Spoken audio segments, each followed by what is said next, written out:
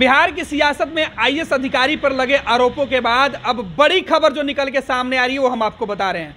IAS अधिकारी और पूर्व विधायक के ऊपर अब मुकदमा दर्ज करने का जो आदेश हुआ था, उस पर पुलिस ने एक्शन लिया है। हमारे वरिष्ठ सहयोगी शशिभूषण हमारे साथ है। इनसे समझते हैं कि पूरा मामला क्या था और किनके आरोपों के बाद यह बड़ी कार्रवाई की गई है। शशि। देखिए एक महिला वकील ने 2021 में सबसे पहले आरोप लगाया कि बिहार के अंदर जो आईएएस अधिकारी हैं संजीव हंस और पूर्व विधायक गुलाब यादव। इन दोनों ने उनके साथ दुष्कर्म किया और इस मामले को लेकर के जब महिला वकील सामने आई थी तो सनसनी मच गई थी। हालाँकि बड़े रसूखदार हैं दोनों। एक आ, सीनियर आईएएस अधिकारी हैं और दूसरे पूर्व विधायक हैं। तो ज़ाहिर तौर पर समझा जा सकता है कि जो आरोप महिला वकील या पीड़िता लगा रही थी उन आरोपों आ, के ऊपर कार्रवाई होना बहुत मुश्किल था। लेकिन मामला कोर्ट में पहुँचा और आखिरकार कोर्ट के ही निर्देश पे इस वक्त जो सबसे बड़ी खबर बता रहे हैं गणेश सम्राट, वो ये है कि गुलाब यादव जो पूर्व विधायक हैं और आईएएस अधिकारी संजीव हंस के खिलाफ पटना के रूपसपुर थाने में केस यानी एफआईआर दर्ज कर लिया गया है। कल ही इस मामले में हमने लगातार हर अपडेट दिया है, इस मामले से जुड़ा हुआ। और कल भी एडीजी से पूछा गया था कि जो आईएएस अधिकारी हैं, संजीव हंस और गुलाब यादव, जो पूर्व विधायक हैं, उनके ऊपर कब केस दर्ज किया जाएगा? एडीजी जो है बिहार पुलिस के, उन्होंने कहा था कि जल्द ही कोर्ट के निर्देशानुसार मतलब इस पर एक्शन लिया जाएगा।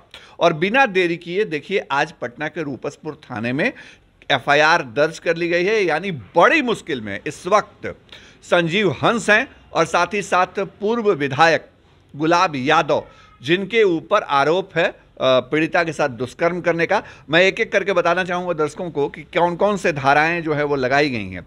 रूपसपुर थाने में संजीव हंस और गुलाब यादव के खिलाफ आईपीसी की धारा 323, 341, 376, 376 डी 420 यानी धोखाधड़ी का। इसके अलावा 313, 120 बी 504 और 504 छः ऑब्लिक चौंतीस। के तहत मामला दर्ज किया गया है। इसके अलावा आईटी एक्ट की धारा सड़सठ के तहत भी केस दर्ज किया गया है।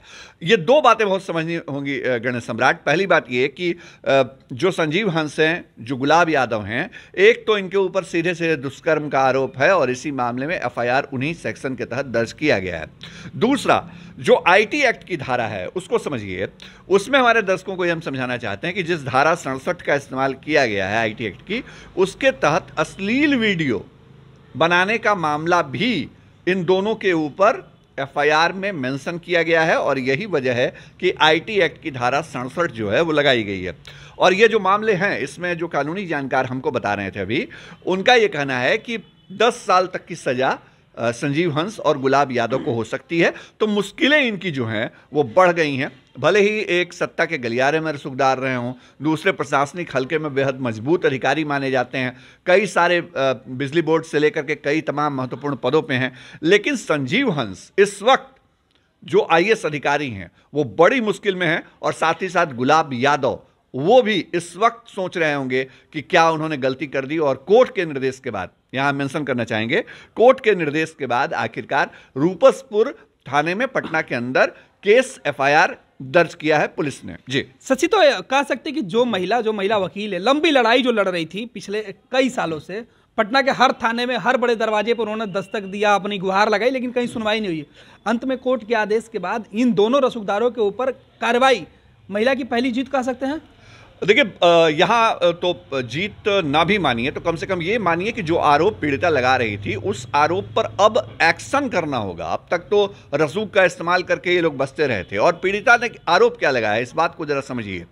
जो आरोप है पीड़िता की तरफ़ से, वो लगाया गया है कि बिहार में महिला आयोग की सदस्य बनाने के लिए मेरा यौन उत्पीड़न किया गया। गुलाब यादव के ऊपर आरोप है कि उन्होंने रुकनपुरा के एक फ्लैट में उनको रखा और रुकनपुरा जो इलाका है वो किस इलाके के अंदर है वो समझिए, इसलिए रूपसपुर थाने में केस दर्ज किया गया तो वहाँ पर उनको रखा और उसके बाद उनके साथ दुष्कर्म किया गया और बार बार उसका वीडियो बनाया गया और वीडियो के आधार पर ही ब्लैकमेलिंग की गई और बार बार उसको साथ में सोने के लिए मजबूर किया गया। इतना ही नहीं, संजीव हंस के ऊपर भी पीड़िता ने आरोप लगाया है कि वो भी वहाँ मौजूद थे और नशीला पदार्थ खिला करके उसका वीडियो बनाया गया और वायरल करने की धमकी दे करके कई दफ़े होटलों में बुलाया गया। तो ये बड़े सनसनीखेज आरोप थे जो 2021 में सबसे पहले पीड़िता ने लगाए थे। और अब तक पीड़िता कई दफे सामने आकर के इन आरोपों को दोहरा चुकी थी। इस मामले में बहुत कोई एक्शन नहीं दिख रहा था।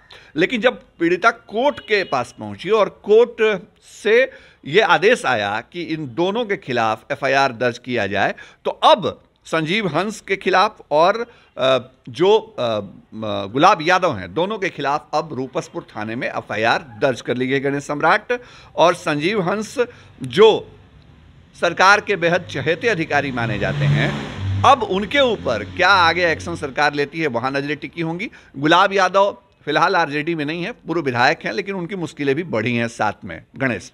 तो बिल्कुल, जो महिला वकील है, उन्होंने एक और आरोप लगाया था। उन्होंने कहा था कि जो उनका बच्चा है, वो बच्चा उसके डीएनए को लेकर भी उन्होंने एक बड़ी बात कही थी। हमें याद है कि जब वो फ़र्स्ट बिहार के स्टूडियो आई थी और उन्होंने अपनी पीड़ा मीडिया के सामने रखा था हमारे सामने रखा था तो हमने उस वक्त भी उनकी बातें आपने खुद बात की थी जो पीड़िता है उनसे और पीड़िता ने यह भी कहा था कि मुझे जान का भी भय सता रहा है। एक तो डीएनए टेस्ट की मांग वो कर रही हैं। उनका कहना है कि जो उनकी औलाद है जो संतान है जो बेटा है वो जो आरोपी है उनका है। तो एक ही आरोप है तो आगे कोर्ट उस पर क्या करेगा ये तो कोर्ट के अंदर की बात है लेकिन फ़िलहाल पुलिस के पाले में एफआईआर दर्ज करना और उसकी जाँच को आगे बढ़ाना। तो अब जो प्रक्रिया होगी जाँच की वो शुरू होने वाली है और मुश्किलें बढ़ने वाली हैं।